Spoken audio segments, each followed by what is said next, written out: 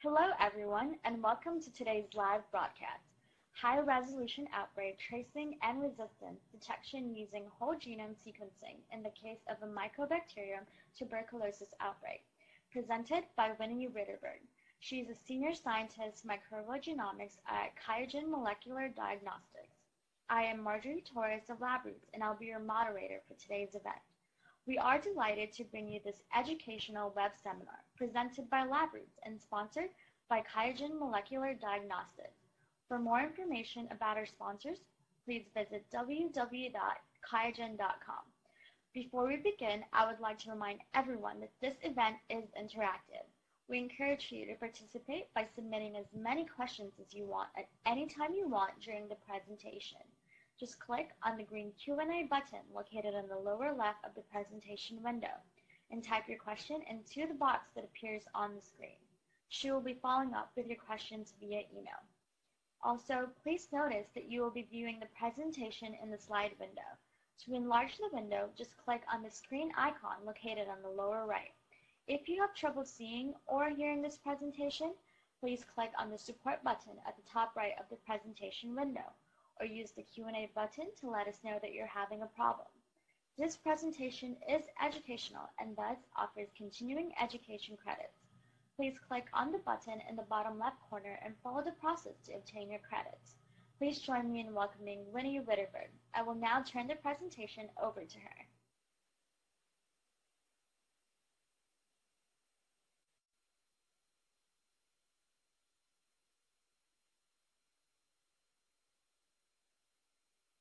So welcome everyone to this session.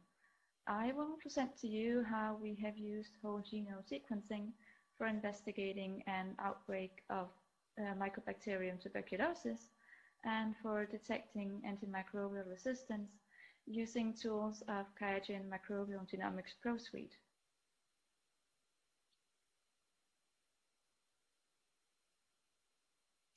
So I will start by giving you a brief introduction to Mycobacterium tuberculosis before uh, moving on to showing you the case study that we have uh, chosen.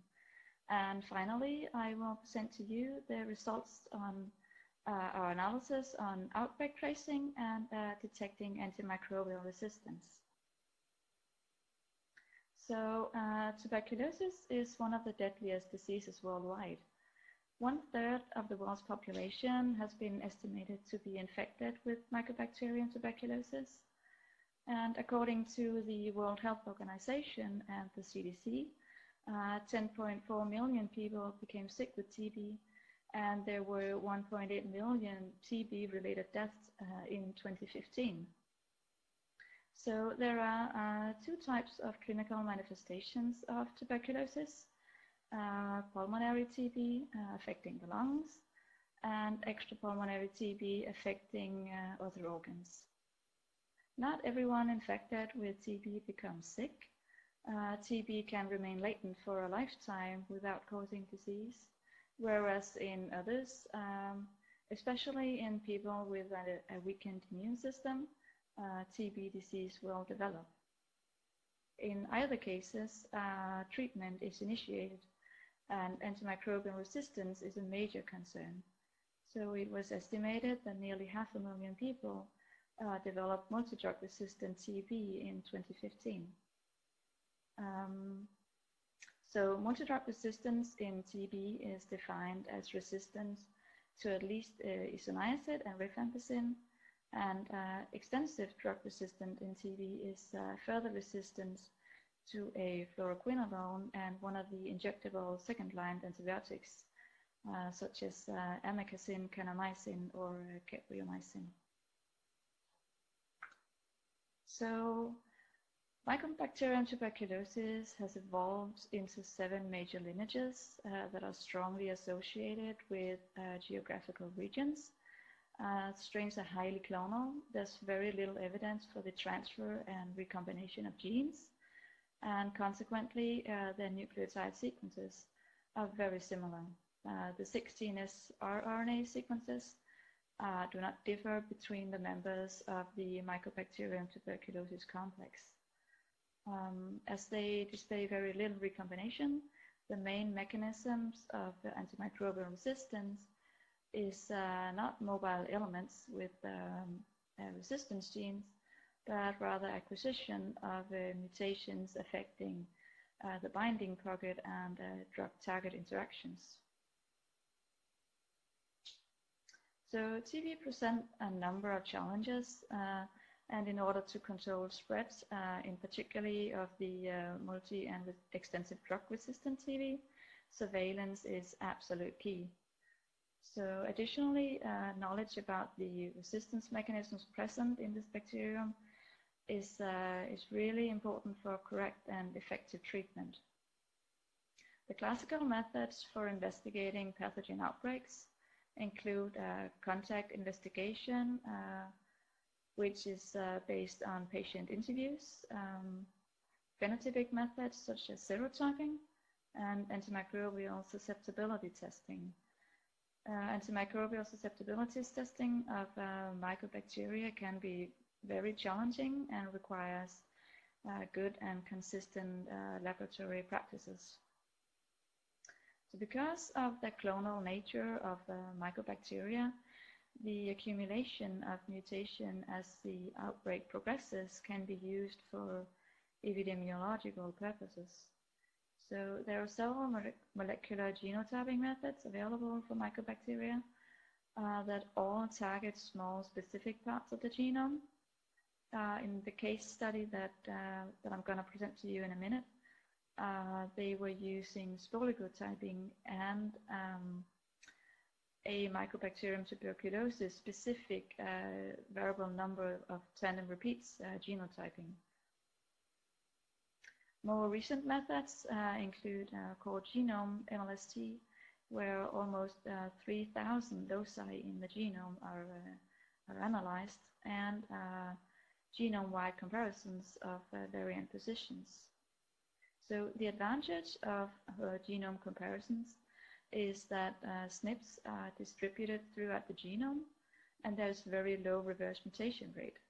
So whole genome sequence analysis provide by far the greatest resolution in outbreak investigations and may uh, precisely distinguish single isolates, which is especially useful for very complex outbreak situations. So a further advantage of whole genome sequencing is the simultaneous uh, detection of um, antimicrobial resistance mechanisms present in, uh, in the bacterium. So there is really the potential to capture the entire spectrum of known uh, mutations associated uh, with drug resistance.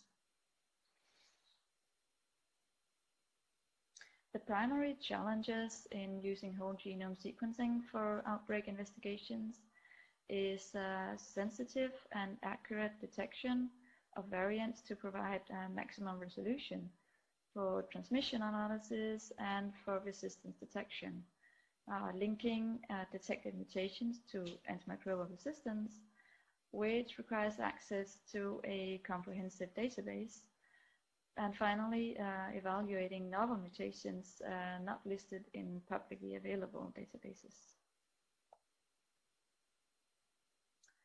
So I know many of you are probably uh, familiar with this, but I will just briefly introduce uh, Microbial Genomics Pro Suite. So QIAGEN Microbial Genomics Pro Suite builds upon the CNC Genomics Workbench um, and contains the uh, microbial genomics module, the MetaGeneMark plugin, and uh, the CNC uh, genome finishing module. So our solution is uh, it's the, the all-inclusive holiday version of uh, bioinformatics software for microbial genomics. Um, and uh, it supports analysis in the fields of genomics, transcriptomics, epigenomics, molecular biology, metagenomics, and pathogen typing. So data, metadata, and results can be linked in the uh, workbench, and uh, the solution furthermore uh, contains statistical tools and a range of uh, interactive uh, graphical visualizations of uh, results and metadata. So our solution is fully customizable, which means that we collaborate with external partners to provide plugins for Cosmos ID, uh, MetaGenMark, and Blast2Go. So the last thing I want to highlight uh, is that our solution is scalable to meet any sample throughput. Uh, it can be run either locally or on the uh, genomic server, uh, which ensures flexibility in uh, with regards to a number of samples and uh, compute resources. So we know uh, we have a comprehensive toolbox allowing specialized analysis of the whole genome sequencing data. And for the new user, some of these tools may appear hidden. And therefore, we would like to um, demonstrate some of these using a very recent case of a Mycobacterium tuberculosis outbreak.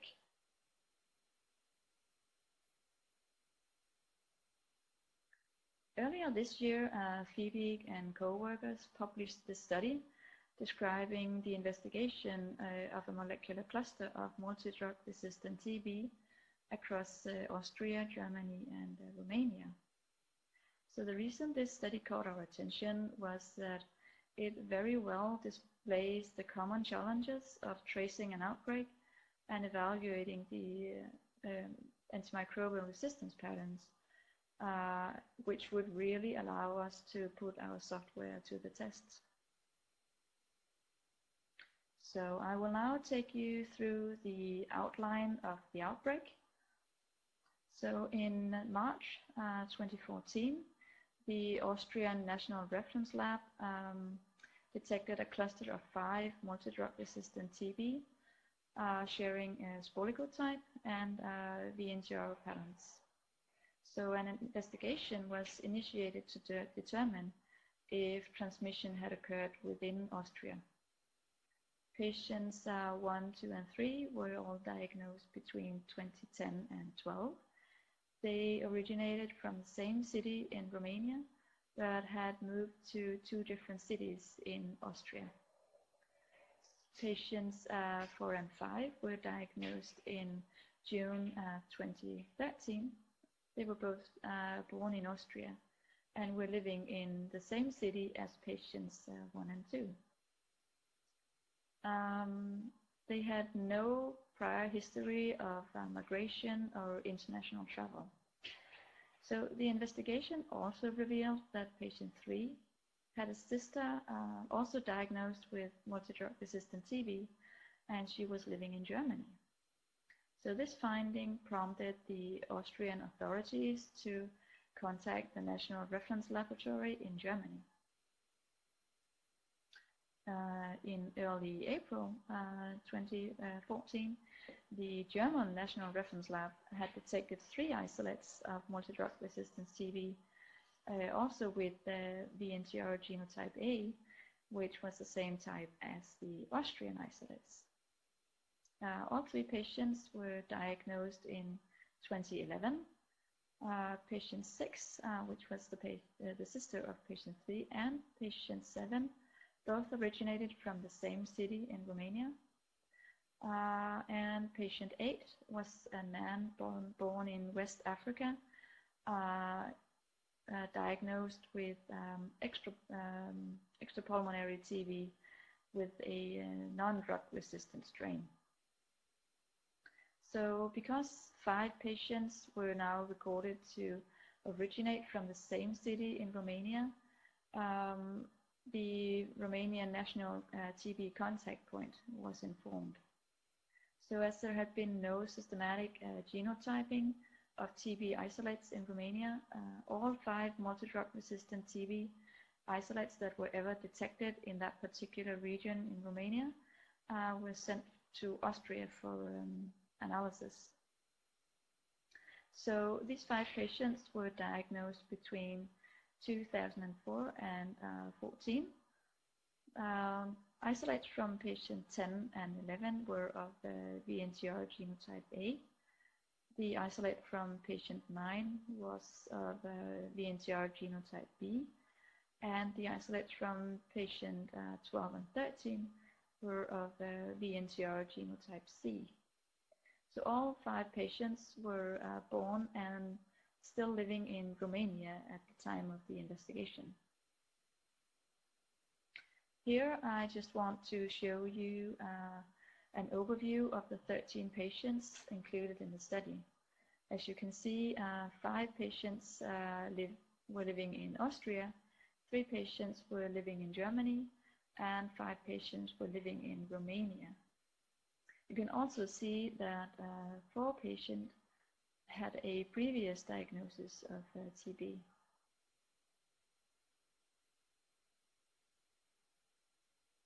Because bacteria evolve throughout the progression of an outbreak, we can perform uh, whole genome uh, comparisons of mutations and obtain information on isolate clustering at very high resolution. So what we have done is detect variants on a genome-wide scale and subject these variant positions to phylogenetic analysis. So the results are visualized as a SNP tree, displaying the relationship between isolates and the difference in variant positions.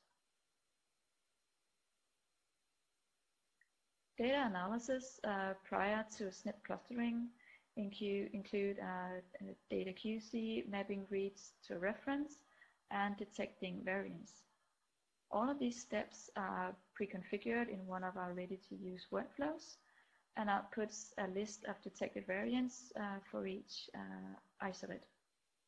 So the workflow is pre-configured with default settings to get you started easily, uh, but all parameters can be adjusted and also to, to meet your specific needs and use cases.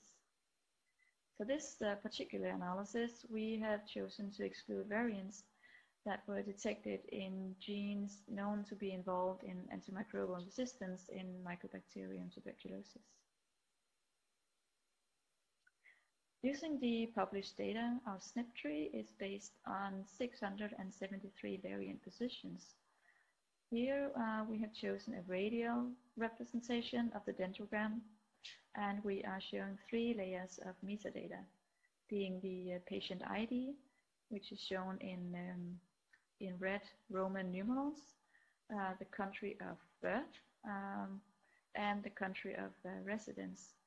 So as you can see, uh, Austrian isolates are colored blue, German isolates are colored um, red, and uh, Romanian uh, isolates are shown in gray. So because um, data and metadata have been linked, it is very simple to select and display uh, different types of metadata for each sample to make a clear representation of results. So in this next figure, uh, we have overlaid the dendrogram with additional information. So we can now also see uh, the isolation date in gray uh, the VNTR genotype, uh, which is marked in yellow, and the number of SNPs supporting uh, branches, those are in black. From this uh, SNP tree, we can see that isolates cluster in three groups. So uh, the top cluster contain isolates from patients all originating from the same city in Romania. Um, these were both of uh, VNTR genotype C and originates from uh, patients uh, 12 and 13. So both of these patients uh, were still living in Romania at the time of the investigation. So the second cluster contain isolates from patients that all originate from the same city in Romania, but that has um, but that are living in three different countries. So among these patients, transmission likely occurred before migrating. Patients uh, 3 and 6 uh, are sisters and likely have a common source of transmission as indicated by their epidemiological link. Their isolates differ by 12 SNPs, however. Um, so Walker and colleagues uh, did a retrospective study of TB outbreaks and found that epidemiological linkage was uh, consistent with isolates uh, differing by 1 to 5 SNPs, whereas isolates differing by more than 12 SNPs was consistent um, with the absence of an epidemiological link.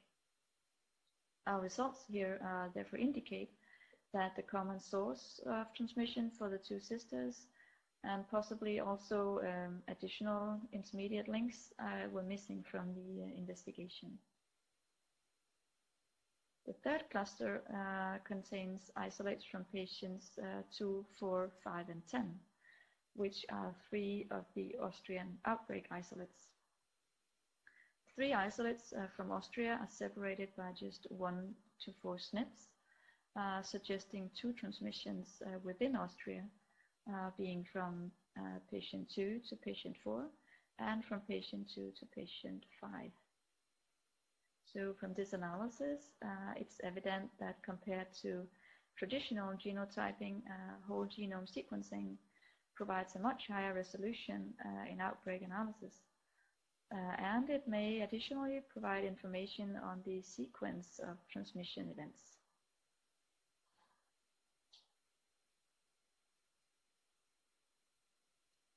So a further advantage of uh, whole genome sequencing for pathogen investigations is the simultaneous detection of antimicrobial resistance mechanisms.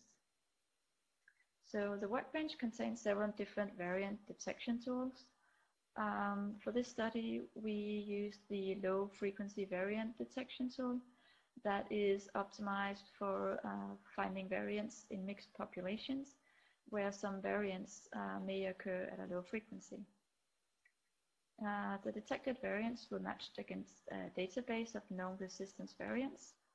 Um, the resistance database we used contained nearly 1,500 different variants distributed in 31 loci and conferring resistance towards uh, 15 anti-TB drugs.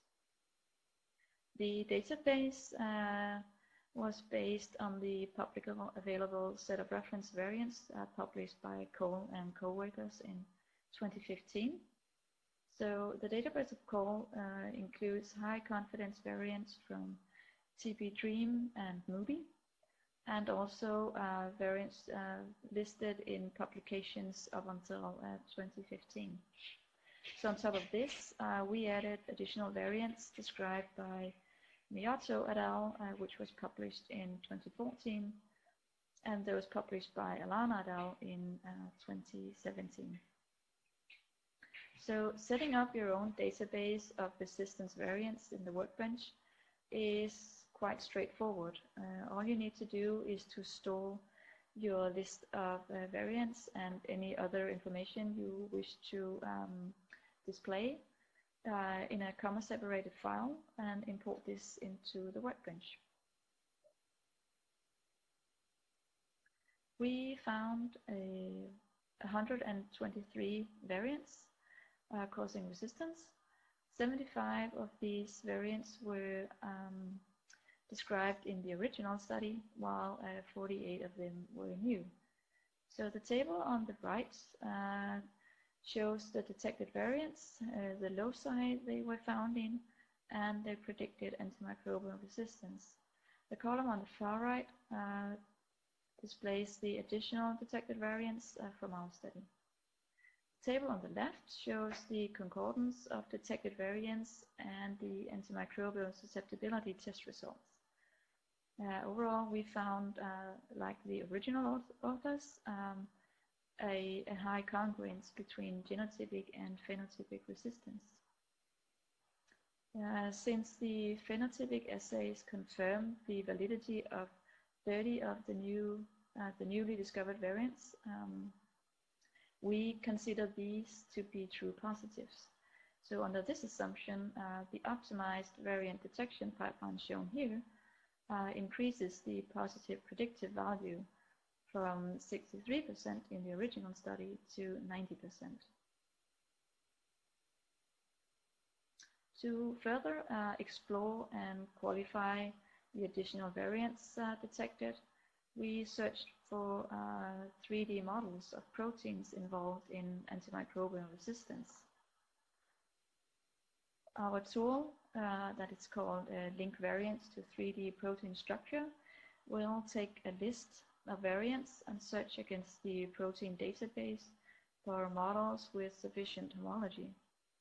The tool enables visualization of amino acid alterations on 3D models um, as a way of evaluating the effect of variants on drug-target interactions or protein function. One of the variants uh, we detected was in the DNA gyrase. So DNA gyrase is involved in supercoiling of DNA, uh, where it binds DNA and introduces uh, double-stranded breaks. The DNA gyrase is the target for the uh, fluoroquinolones, uh, which bind the enzyme DNA complex. Mutation of the target region uh, will alter the target structure and thereby the uh, binding affinity for the drug. In this figure, uh, we see the DNA gyrase uh, binding DNA and with uh, moxifloxacin linked uh, to the complex. Uh, to the bottom left, we see the reference model with the alanine at position 90, shown in blue. And on the bottom right, there is instead a valine, which is shown in green, at this position in the binding site, uh, which likely will affect uh, drug binding. So this isolate uh, was indeed resistant as uh, measured by antimicrobial susceptibility testing. Another variant uh, we have taken a closer look at is a uh, serine to asparagine substitution in the binding channel of the RNA polymerase. So RNA polymerase is the, the target for the rifamycins, uh, which will bind inside the DNA RNA channel and thereby physically blocking elongation. Uh, resistance arises from amino acid alterations in the binding site, which uh, decrease the affinity for the drug. In this model, uh, we see the RNA polymerase with uh, rifampicin bound in the active site or the binding channel. Uh, the wild type model is shown on the bottom left in blue, and the variant position with the uh, asparagine substitution is shown on the bottom right in, uh, in green. Again, uh, we find that this alteration of the binding channel changes the drug-target interaction, and the isolate becomes resistant uh, towards uh, rifampicin. So we have found that uh, sensitive variant detection reveals more mutations with likely causal effects, and that uh, 3D structures can be used to assess the impact of mutations on drug-target interactions. Here, um, I just wanted to show you some additional variants from the case study that we also found uh, 3D models for uh, using, uh, using our tool. Okay, uh, so to sum up, uh, with this study, uh, we have shown how you can use tools in QIAGEN Microbial Genomics Pro Suite to uh, for high resolution outbreak tracing and um, by analyzing whole genome sequencing data. Our pre-configured workflows for data QC, uh, mapping, and variant detection allow you to get started easily and um, our optimized variant detector and track tools for database comparison enable uh, user-friendly detection of antimicrobial resistance causing variants. Our tools for 3D visualization can assist you in qualifying previously undescribed variants. So with this, I will finish and uh, thank you for your attention.